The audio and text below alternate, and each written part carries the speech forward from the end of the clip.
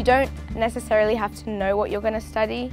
There's so many people here that have no idea what they're going to study and that's I think that's the whole purpose of this is to help you decide what you want to do. These courses have just encouraged me to take a further interest in subjects like philosophy, which I never would have come across otherwise, and focus on my creative writing. I received so much encouragement from the teachers and from the other students. Oxford Royale Academy helped me with realizing what I'm passionate about and that has helped me know who I am, what I want to do and where I'm gonna go. It's been so beneficial to me. I feel like it's helped me improve as a person. If you don't know what you want to do, just come here anyway. Seeing if this is the right path for you has been an amazing experience. This is definitely an experience I will not forget.